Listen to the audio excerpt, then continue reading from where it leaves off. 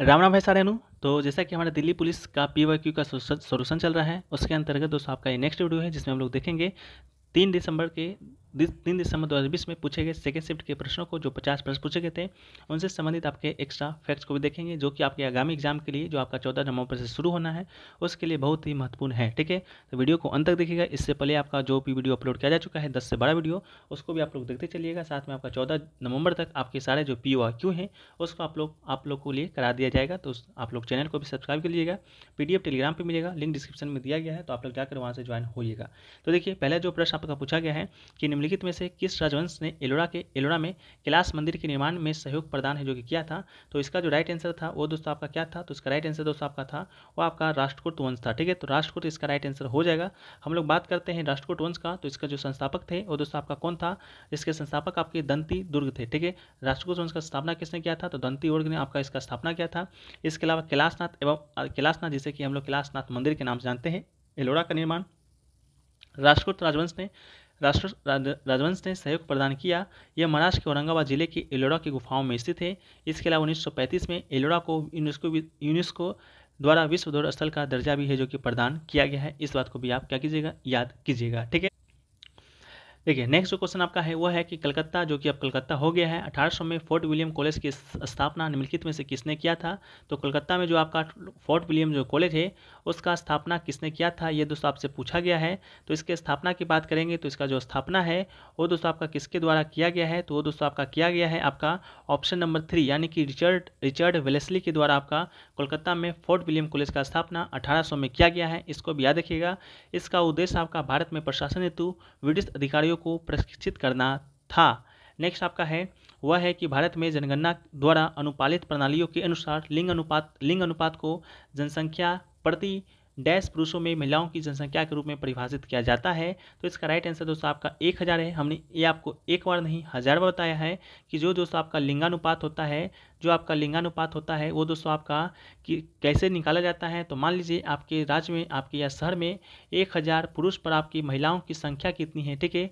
एक हज़ार पुरुष पर आपका महिलाओं की संख्या कितनी है, उसी को हम दोस्तों लिंगानुपात है जो कि कहते हैं, ठीक है? तो सबसे ज़्यादा जो लिंगानुपात है, वो दोस्तों हमने आपको बताया था, केरल का है, वहाँ का लिंगानुपात आपका एक हज़ार चौरासी है। सेकेंड में दोस्तों आपका तमिलनाडु है, इसको भी याद रखिएगा। सबसे कम लिंगानुपात आपका कहाँ का है? तो सबसे कम लिंगानुपात, वो दोस्तों आपका कहाँ का हो जाएगा? तो ये दोस्तों आपका हरियाणा का है, इसको भी आप याद रखिएगा, ठीक है? भारत में जनगणना के द्वारा अनुपालित प्रणालियों के अनुसार लिंगानुपात जनसंख्या में प्रति एक हज़ार पुरुष पर महिलाओं की संख्या के रूप में परिभाषित किया जाता है। नेक्स्ट आपका है कि निम्नलिखित में से किसे द्रोणाचार्य पुरस्कार नियमित श्रेणी दो से सम्मानित किया गया था? यह आपका करंट का क्वेश्चन था तो सिर्फ़ राइट आंसर जान लीजिए जूट फ्लेक्स जूट फेलिक्स इसका आपका राइट आंसर हो जाएगा, ठीक है? जूट फेलिक्स सेबास्टिन हॉकी से संबंधित है। इसके अलावा योगेश मालवीय मलखम से, जसपाल राणा आपका निशानबाजी से, कुलदीप कुमार हांडू वसु से, गौरव खन्ना आपके पैरा बैडमिंटन को पैरा से संबंधित है, जिन्हें वर्ष 2020 में द्रोणाचार्य पुरस्कार नियमित श्रेणी में, जो कि आपका दिया गया था, जो आपका द्रोणाचार्य पुरस्कार है, वो दोस्तों आपका किसके दिया जाता है? तो दोस्तों आपका विभिन्न खेलों के खिलाड़ियों के कोचों को दिया जाता है, जो उसको ट्रेन करते हैं, प्रशिक्षक होते हैं, उसी को द्रोणाचार्य पुरस्कार दिया जाता है। इसको भी याद देखेगा इसके अलावा वर्ष दो हज़ार बाईस में आपका राज सिंह को जीवन जोत सिंह को, मोहम्मद अली कमर को, सुमा सिद्धार्थ सिडुर को, सुजीत मान को यह पुरस्कार जो कि दिया गया था 2020 में, जो कि आपके लिए इंपॉर्टेंट है। नेक्स्ट आपका है कि 2005 में पद्मश्री पुरस्कार से सम्मानित आपके सुनीता नारायण को निम्नलिखित में से किस क्षेत्र में उनके द्वारा किए गए कार्यों के लिए जाना जाता है? तो सुनीता जो नारायण है, ये दो में इन्हें पद्मश्री मिला है। ये दोस्तों आपके विज्ञान और पर्यावरण से इनका संबंध है। तो वर्ष दो में पद्मश्री पुरस्कार से सम्मानित सुनीता नारायण को विज्ञान एवं पर्यावरण में उनके द्वारा किए गए कार्यों के लिए जाना जाता है। वह डाउन टू अर्थ नामक अंग्रेज़ी पत्रिका को प्रकाशित करती हैं। नेक्स्ट आपका है कि केंद्रीय वित्त मंत्री के द्वारा दिए गए दो हज़ार के बजट भाषण के अनुसार वर्ष तक जन औषधि केंद्र योजनाओं का सभी जिला में विस्तार किया जाएगा। ये दोस्तों आपका 2024 इसका आपका राइट आंसर था। केंद्रीय मंत्री वित्त, केंद्रीय वित्त मंत्री के द्वारा बजट 2020 इक्कीस के अनुसार वर्ष 2024 तक जन औषधि केंद्र योजना का सभी जिलों में विस्तार है, जो कि आपका कर दिया जाएगा। इसके अलावा जो केंद्रीय वित्त मंत्री हैं वर्तमान में आपके कौन हैं? तो वर्तमान में बात करेंगे तो निर्मला सीतारमन जी। दोस्तों आपके कौन हैं? वर्तमान में केंद्रीय वित्त मंत्री हैं। इसके अलावा कॉरपोरेट मामले के जो मंत्री हैं कॉरपोरेट मामलों के मंत्री भी दोस्तों आपके निर्मला सीतारमन जी ही हैं, इसको भी आप याद रखिएगा। अगला है कि सांची का महान स्तूप निम्नलिखित में से किस राज्य में स्थित है? तो सांची का जो महान स्तूप है, वो दोस्तों आपका मध्य प्रदेश में स्थित है। मध्य प्रदेश में पूछेगा कहाँ? तो मध्य प्रदेश के आपके रायसेन जिला में स्थित है। यहाँ पर आपका कई बौद्ध स्मारक है। सांची के स्तूप का जो निर्माण है, किसके द्वारा कराया गया था? तो सम्राट अशोक के द्वारा कराया गया था। यह दोस्तों आपका एक विश्व धरोहर स्थल भी है, इसको भी आप याद रखिएगा। अगला है देवगढ़ का दशावतार मंदिर। निम्नलिखित में से किस राज्य में स्थित है? आपका कौन सा मंदिर? दशावतार मंदिर। दशावतार मंदिर की बात करेंगे, जो देवगढ़ का देवगढ़ कहाँ पर है? तो ये दोस्तों आपका उत्तर प्रदेश में स्थित है। तो इसका राइट आंसर आपका उत्तर प्रदेश होगा। देवगढ़ का दशावतार मंदिर उत्तर प्रदेश के ललितपुर ज़िले के देवगढ़ में स्थित है। ये मंदिर आपका भगवान विष्णु को समर्पित है। कब बनाया गया था? तो गुप्त काल में बनाया गया था। इस बात को भी याद रखिएगा। इसके अलावा उत्तर प्रदेश में दोस्तों आपका कानपुर शहर में एक आपका मंदिर है, भीतर गाँव मंदिर, जो कि आपके एग्ज़ाम में आपका, जब एग्ज़ाम आपकी हाल ही में एम का हुआ था, उसमें पूछा गया था कि भीतर गाँव मंदिर आपका कहाँ स्थित है? तो भीतर गाँव मंदिर भी दोस्तों आपका लखनऊ में सॉरी उत्तर प्रदेश में ही उत्तर प्रदेश में भी कहा तो कानपुर में भी है। ये जो मंदिर है, ये भी दोस्तों आपका गुप्त काल में ही बनाया गया है। अगला है कि प्राचीन विद्वान पाणिनि को योगदान के लिए जाना जाता है। किस क्षेत्र में, किस क्षेत्र के लिए? ठीक है? तो जो आपके प्राचीन विद्वान थे पाणिनि, उनको दोस्तों आपका संस्कृत व्याकरण के क्षेत्र में जाना जाता है। तो राइट आंसर आपका संस्कृत व्याकरण हो जाएगा। उनके द्वारा एक पुस्तक भी लिखा गया है जो कि संस्कृत व्याकरण पर ही आधारित है। उस पुस्तक का नाम आपका अष्टाध्यायी है। तो ये भी आपसे पूछा जाएगा अष्टाध्यायी पुस्तक किसने लिखा है? तो पाणिनि के द्वारा ही लिखा गया है। नेक्स्ट आपका है कि निम्नलिखित में से कौन समुद्री मत्स्य प्रजाति नहीं है? तो इसका राइट आंसर आपका ऑप्शन नंबर एक हो जाएगा कटला। कटला समुद्री मत्स्य प्रजाति नहीं है। यह आपका स्वच्छ जल स्रोतों, नदियों, तालाबों में पाई जाने वाली मछली है, जबकि आपका साडिना हिल्सा, मैकरेल समुद्री मत्स्य यानी कि मैरिन फ़िश प्रजाति हैं। नेक्स्ट आपका है कि हिल्सा, मैकरल समुद्री मत्स्य यानी कि मैरिन फ़िश प्रजातियाँ हैं। ठीक है, इसको भी याद रखिएगा। ये आपका मिस प्रिंट है। अगला है कि one arrange marriage one arrange marriage murder नामक पुस्तक के लिखा या लिखिका कौन है? तो वन अरेंज मैरिज जो मर्डर पुस्तक है, वो दोस्तों आपका चेतन भगत जी के द्वारा लिखा गया है। तो वन अरेंज मैरिज मर्डर नामक पुस्तक के लेखक आपके चेतन भगत जी हैं। चेतन चेतन भगत की अन्य प्रसिद्ध रचनाएँ की बात करेंगे पुस्तक में तो one night at the call centre one Indian girl half girlfriend the three mistakes of my life ये आपके चेतन भगत जी के द्वारा ही लिखे गई पुस्तक का नाम है। नेक्स्ट आपका है कि निम्नलिखित में से कौन सा एक साधारण अस्थायी उत्तक है? तो अस्थायी उत्तक की बात करेंगे तो दोस्तों आपका मृतक यानी कि पेरन कायमा एक आपका क्या है? तो साधारण अस्थायी उत्तक है। मृतक की बात करेंगे तो पेरन कायमा जिसे इंग्लिश में कहते हैं, हिंदी में मृतक मृदुत्तक के नाम से जाना जाता है। यह आपका साधारण अस्थायी उत्तक है।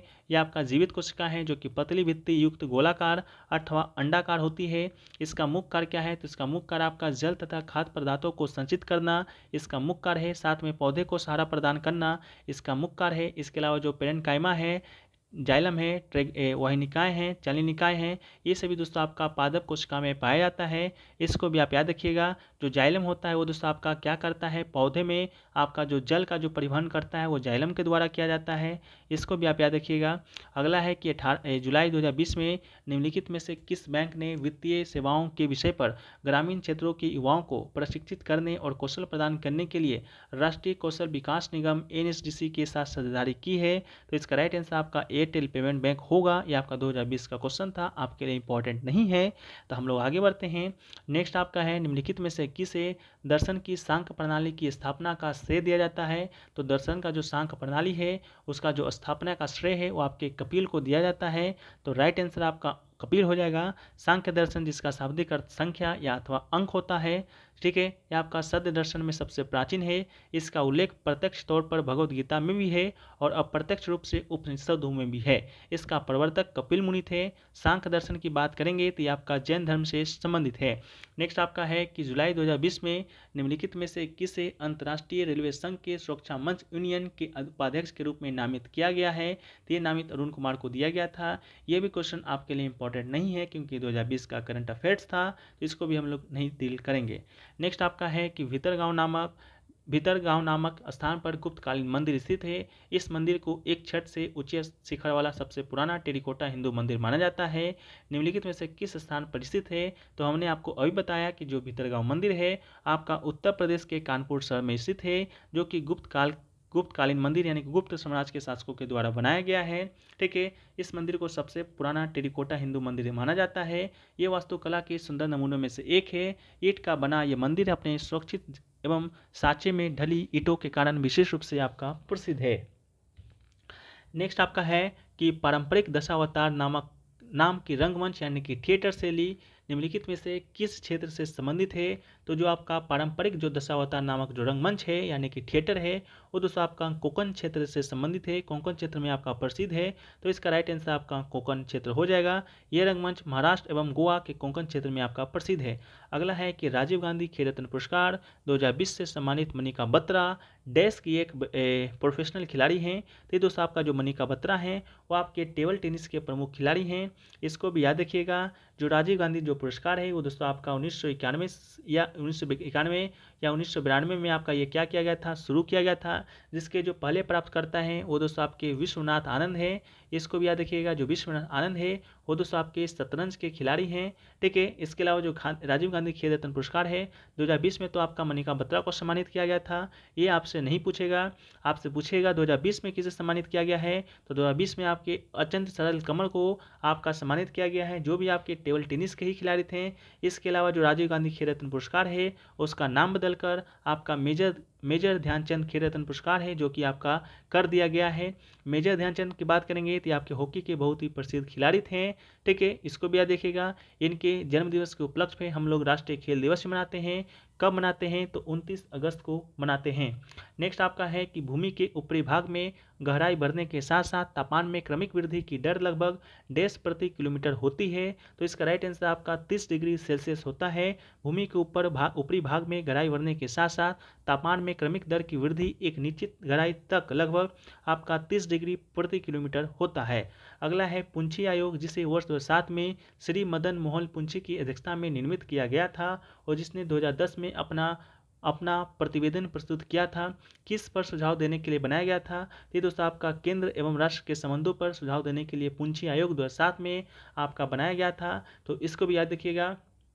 इसके अलावा भारत सरकार के द्वारा लगभग दो दशक पूर्व सरकारी आयोग द्वारा अंतिम बार केंद्र राष्ट्र केंद्र राष्ट्र संबंधों से संबंधित मुद्दों पर विचार के बाद भारत की राजनीति, अर्थव्यवस्था में आए परिवर्तन को ध्यान में रखते हुए केंद्र राष्ट्र संबंधों में संबंधित नए मुद्दे पर विचार करने के लिए 27 अप्रैल 2007 को भारत के पूर्व मुख्य न्यायाधीश न्यायमूर्ति मदन मोहन पुंची की अध्यक्षता में एक आयोग का गठन किया गया था, जिसे कि पुंची आयोग के नाम से जानते हैं। आयोग ने केंद्र और राज्य के बीच मौजूद व्यवस्थाओं के प्रक्रियाएँ विधायी संबंधों, प्रशासनिक संबंधों, राज्यपाल की भूमिका, आपातकालीन प्रावधानों, वित्तीय संबंधों और आर्थिक और सामाजिक नियोजन, पंचायती राज संस्था संस्थानों अंतर्राज्य नदी जल सहित संसाधनों का साझा करना इत्यादि शामिल करके सभी क्षेत्रों में अधिकारों और जिम्मेदारियों के संबंध में न्यायालय के द्वारा की गई विभिन्न घोषणाओं की जाँच और समीक्षा की। इसके अलावा 30 मार्च 2010 को सरकार ने प्रस्तुत अपना पेश की अपना रिपोर्ट का। ठीक है, सात खंडों की रिपोर्ट में आयोग ने दो सौ तिहत्तर सिफारिशें की थी। इसके अलावा आप यह रखिएगा जो सरकारी जो आयोग है, ये भी आपका किससे संबंधित है? तो सरकारी आयोग भी आपका, केंद्र, राष्ट्र संबंध से ही आपका क्या है? संबंधित है। अगला है कि निम्नलिखित में से किस अधिनियम के द्वारा भारत में जीएसटी यानी परिषद की स्थापना किया गया था? तो जो जीएसटी है, वो भारत में आपका एक सौ संविधान संशोधन 2016 एक्ट के तहत आपका स्थापित किया गया है, कब किया गया था जीएसटी तो एक जुलाई दो हज़ार सात को आपका जीएसटी है, जो कि पूरे भारत में लागू हुआ है। इस बात को भी याद रखिएगा जीएसटी परिषद की अध्यक्षता की बात करेंगे तो वित्त मंत्री के द्वारा किया जाता है। अगला है कि वी आर डिस्प्लेस्ड नामक जो पुस्तक है, उसके लेखक और लेखिका कौन है? तो वी आर डिस्प्लेस्ड जो नामक पुस्तक है, उसके लेखिका आपके मलाला यूसुफजाई जी हैं। तो मलाला यूसुफजाई, इसका राइट आंसर होगा। मलाला यूसुफजाई की बात करेंगे तो आपका 2004 में आपका शांति का नोबेल पुरस्कार इन्हें दिया गया था। दो हज़ार सॉरी दो में शांति का नोबेल पुरस्कार आपके दो लोगों को दिया गया था। एक आपके कैलाश सत्यार्थी जी थे, एक आपके मलाला इसुजाई जी थे, ठीक है? उन्हीं के द्वारा आपका वी आर डिस्प्लेस्ड नामक पुस्तक लिखा गया है। अगला है कि केंद्रीय सांख्यिकी संगठन सीएसओ मासिक आधार पर औद्योगिक उत्पादन सूचकांक आईआईपी की गणना और प्रकाशन करता है। सूचकांक की गणना के लिए निम्नलिखित में से किस वित्तीय वर्ष के आधार वर्ष के रूप में लिया जाता है? तो जो वित्तीय वर्ष का जो आधार वर्ष है, वो दोस्तों आपका 2011-12 का लिया जाता है। तो राइट आंसर आपका 11 जो 12 है, आपका हो जाएगा। केंद्रीय सांख्यिकी संगठन, अब जो एनएसओ है, के द्वारा मासिक आधार पर औद्योगिक उत्पादन सूचकांक आईआईपी की गणना के लिए 2011-12 को आधार वर्ष यानी कि बेस ईयर के रूप में लिया जाता है। अगला है चोल प्रशासन के संदर्भ में बेटी शब्द का अर्थ क्या है? तो चोल जो प्रशासन है, उसके संबंध में जो बेटी का जो अर्थ है उसका अर्थ दोस्तों आपका कर है। तो कर इसका राइट आंसर होगा। चोल प्रशासन में बेटी शब्द का अर्थ कर होता था। इस काल को बलाश्रम के रूप में लिया जाता था। चोल प्रशासन भू राजस्व को कदमाई कहा जाता था। ठीक है? अगला है कि भारतीय रिज़र्व बैंक आरबीआई की मौद्रिक नीति समिति यानी कि मॉनेटरी पॉलिसी कमेटी में कुल कितने सदस्य होते हैं? तो मौद्रिक कमेटी में आपका टोटल छः सदस्य होते हैं। भारतीय रिज़र्व बैंक की मौद्रिक नीति समिति में अध्यक्ष सहित आपका कितने सदस्य? तो छः सदस्य होते हैं। आरबीआई के गवर्नर इसके पदेन अध्यक्ष होते हैं। अध्यक्ष के अतिरिक्त अन्य में से तीन सदस्य जो है, आपका केंद्र सरकार के द्वारा नियुक्त किए जाते हैं। वर्तमान में आरबीआई के गवर्नर की बात करेंगे तो वर्तमान में आरबीआई के गवर्नर कौन है? शक्तिकांत दास है, जो कि आपकी आरबीआई के केवी नंबर के गवर्नर है तो पच्चीसवें नंबर के गवर्नर हैं। इन्हें अभी 2023 में दोस्तों आपका governor of the year award से भी सम्मानित किया गया है। Governor of the year award से जो कि आपका एस एस सी में पूछा गया प्रश्न है, इसको भी यह देखिएगा, जो governor year of the award है, वो दोस्तों आपका इनसे पहले आपके रघु राम राजन को भी दिया गया था 2015 में। तो भारत के मात्र दो ही लोग ऐसे हैं, दो ही गवर्नर ऐसे हैं, जिन्हें governor governor year of the award से सम्मानित किया जा चुका है। तो शक्तिकांत को दिया गया था, आपके एग्ज़ाम में पक्का ये प्रश्न आपको देखने को मिलेगा, किसी न किसी शिफ्ट में आप लिख कर ले लीजिए। नेक्स्ट आपका है कि निम्नलिखित में से किसी कोशिका के आत्मघाती सेले यानी कि सुसाइडल बेग के नाम से जाना जाता है। तो जो आपका कोशिका का जो आत्मघाती थैला है, यानी कि सुसाइडल बैग है, वो दोस्तों आपका लाइसोसोम को कहा जाता है। लाइसोसोम को कोशिका का आत्मघाती थैले के नाम से जाना जाता है। जब कोशिकाएँ मृत या क्षतिग्रस्त हो जाती हैं तो लाइसोसोम फट जाता है और अपनी ही एंजाइम का पाचन है जो कि कर लेता है। इस कारण लाइसोसोम को सुसाइडल बैग के नाम जाना जाता है। ये दोस्तों आपका फट जाता है। इस कारण इसे एटम बम के नाम से भी आपका जाना जाता है। इसके अलावा माइटोकॉन्ड्रिया की बात करेंगे तो माइटो जो कोंडिया होता है। यहाँ पर कोशिका आपका शोषण करती है। शोषण करके दोस्तों आपका ऊर्जा का निर्माण करती है, ऊर्जा का जो निर्माण है वो आपका एटीपी के रूप में करती है, ठीक है? इसलिए दोस्तों आपका इसे ऊर्जा का पावर हाउस कहा जाता है, ठीक है? पावर हाउस पावर हाउस कहा जाता है एनर्जी का पावर हाउस किसे कहा जाता है?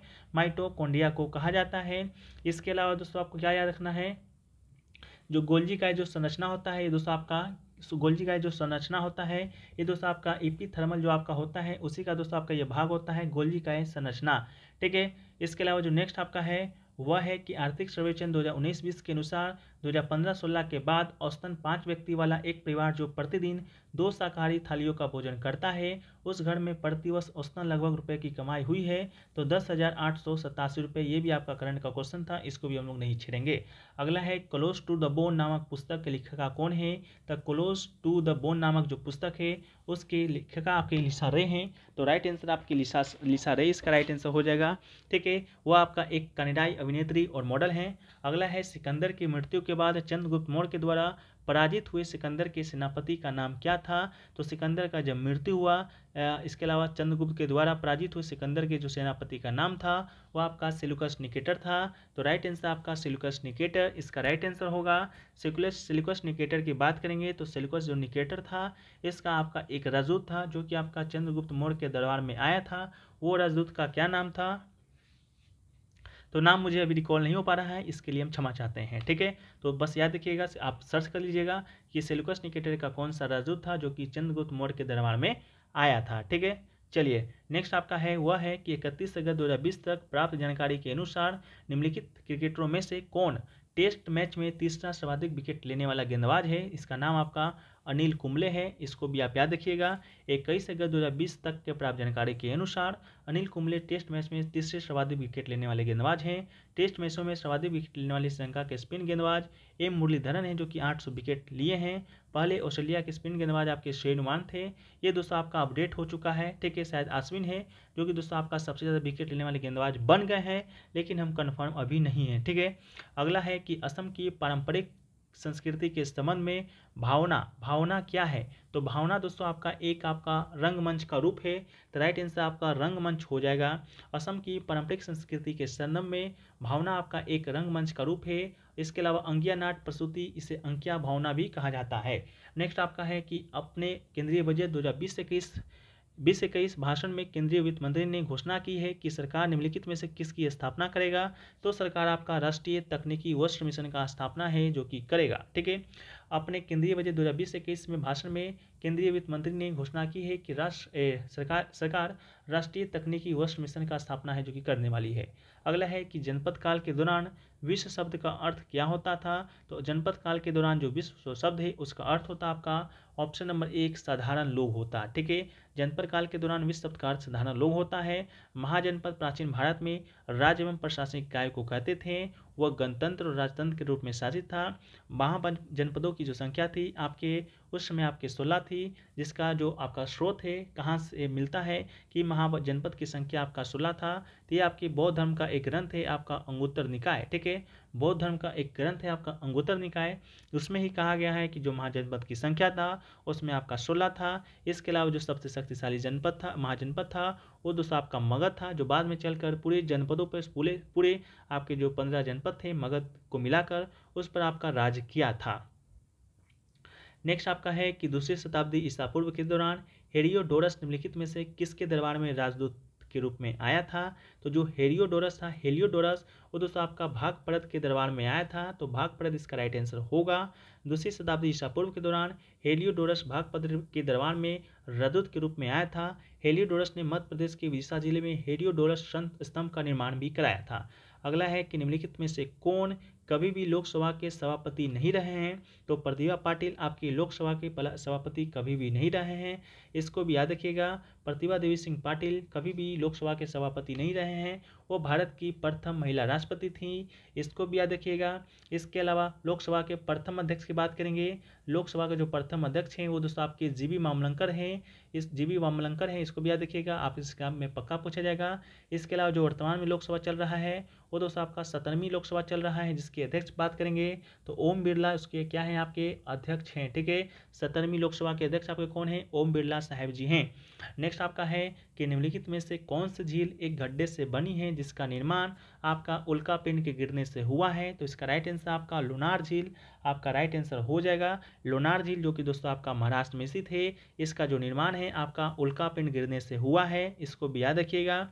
अगला है कि भारत के संविधान के निम्नलिखित भाग में से कौन सा भाग मुख्य रूप से संघ और राज्य के बीच संबंधों से संबंधित है?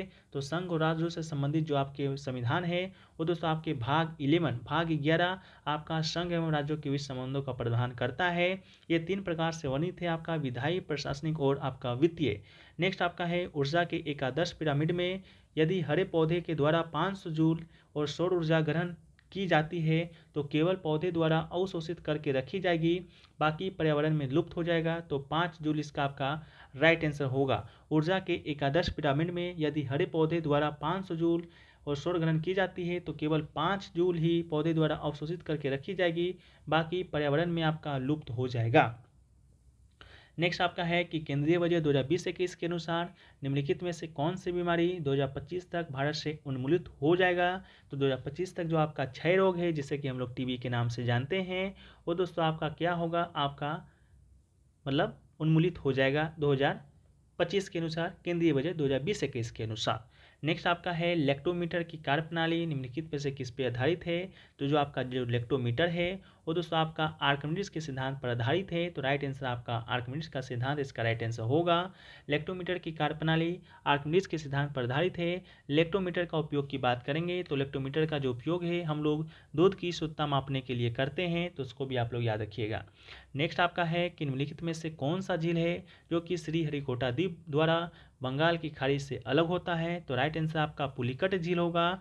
पुलिकट झील श्री हरिकोटा द्वीप द्वारा बंगाल की खाड़ी से अलग होता है। यह झील आंध्र प्रदेश और तमिलनाडु की सीमा पर स्थित है। नेक्स्ट आपका है कि 14 सितंबर 2020 में निम्नलिखित में से किसे राज्यसभा के उपसभापति के रूप में निर्वाचित किया गया है? तो ये दोस्तों आपके हरिवंश नारायण सिंह को किया गया है। हरिवंश नारायण सिंह अभी वर्तमान में भी आपके राज्यसभा के उपसभापति हैं। इसको भी याद रखिएगा, वो कौन से दल से संबंधित है? तो जनता दल यूनाइटेड से उनका संबंध है। इसके अलावा राज्यसभा के उपसभापति तो आपके हरिवंश नारायण सिंह है। लेकिन राज्यसभा के जो सभापति हैं, वह कौन है? तो जो राज्यसभा का सभापति होता है वो दोस्तों आपका उपराष्ट्रपति ही होता है। इसको भी याद रखिएगा, जो उपराष्ट्रपति है वर्तमान में कौन है? तो वर्तमान में फ्रेंड्स आपके जगदीप जो धनखड़ हैं, वो दोस्तों आपके उपराष्ट्रपति हैं वर्तमान में। इसको भी आप याद रखिएगा।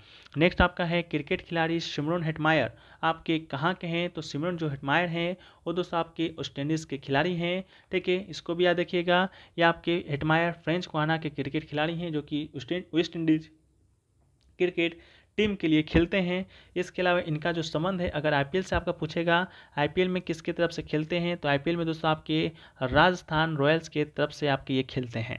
अगला है नरसिंह वर्मन प्रथम, जिन्हें मावल के नाम से जाना जाता था। डैश राजवंश के शासक थे तो नरसिंह जो प्रथम है, जिन्हें मावल के नाम से जाना जाता, वो दोस्तों आपके पल्लव राजवंश के शासक थे। पल्लव इसका राइट आंसर होगा। उनके शासनकाल के दौरान प्रसिद्ध जो पंचरथ मंदिर का निर्माण हुआ है, ये भी आपका यूनेस्को का विश्व धरोहर स्थल है आपका पंचरथ मंदिर।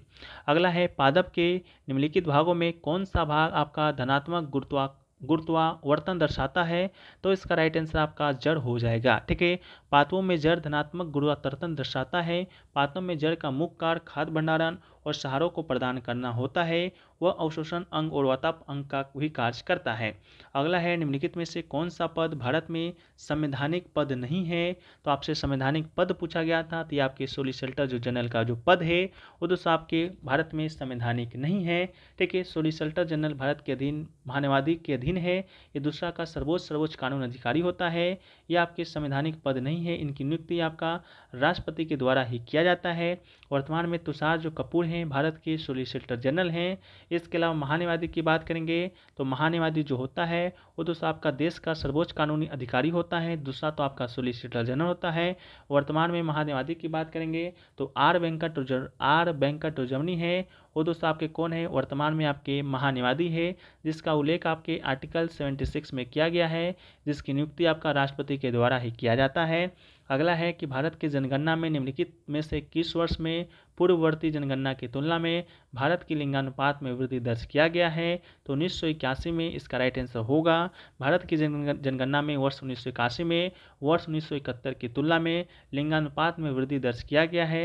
वर्ष उन्नीस सौ इकहत्तर में यह आपका 930 था, जबकि उन्नीस सौ इक्यासी में आपका नौ सौ चौंतीस हो गया है। वर्ष दो हज़ार की बार, ग्यारह की बात करेंगे तो ये लिंगानुपात आपका नौ सौ तैंतालीस है। नेक्स्ट आपका है कि जून 2020 में वैश्विक rating agency Standard and Poor's ने वर्ष 2020 से इक्कीस बाईस के दौरान भारत की वास्तविक जीडीपी में डैश वृद्धि का अनुमान लगाया है। तो राइट आंसर आपका 8.5 परसेंट इसका राइट आंसर होगा। बीस का क्वेश्चन था, छेड़छाड़ नहीं करेंगे। अगला है कि बेकिंग सोडा का जो घोल है, निम्नलिखित में से किस सूचक के साथ हरा रंग देता है? तो दोस्तों आपका चीनी गुलाबी इसका राइट आंसर हो जाएगा। बेकिंग सोडा का गोल चीनी गुलाबी यानी कि चाइना रोज के साथ हरा रंग देता है। लिटमस पेपर, अम्ल और क्षार का एक प्रकृति सूचक है। यह लाइकिन से प्राप्त होता है, इसको भी आप याद रखिएगा। अगला है कि सितंबर 2022 में यूनिसेफ इंडिया ने बच्चों के खिलाफ होने वाली हिंसा को समाप्त करने के लिए अपने कार्य के सेलिब्रिटी वकील के रूप में निम्नलिखित में से किसकी नियुक्ति की घोषणा की है? तो ये घोषणा आपकी आयुष्मान खुराना जी को किया था। तो इसका राइट आंसर आपका आयुष्मान आयुष्मान खुराना होगा। सितंबर 2022 में यूनिसेफ इंडिया ने बच्चों के खिलाफ होने वाली हिंसा को समाप्त करने के, समाप्त करने के अपने कार्यों के लिए आयुष्मान खुराना को सेलिब्रिटी वकील के रूप में नियुक्त करने की घोषणा है, जो कि किया है। ठीक है? तो ये दोस्तों, आपका आज का पचास क्वेश्चन था, जो कि आपके प्रीवियस ईयर में पूछे गए थे। आशा करते हैं आपको पसंद आया है। पसंद आया है तो वीडियो को लाइक कर दीजिए। चैनल पे आप नए हैं, चैनल को सब्सक्राइब कर दीजिए। इसी प्रकार से हम लोग नेक्स्ट वीडियो में मिलते हैं। जब तक के लिए जय हिंद, जय भारत, वंदे मातरम।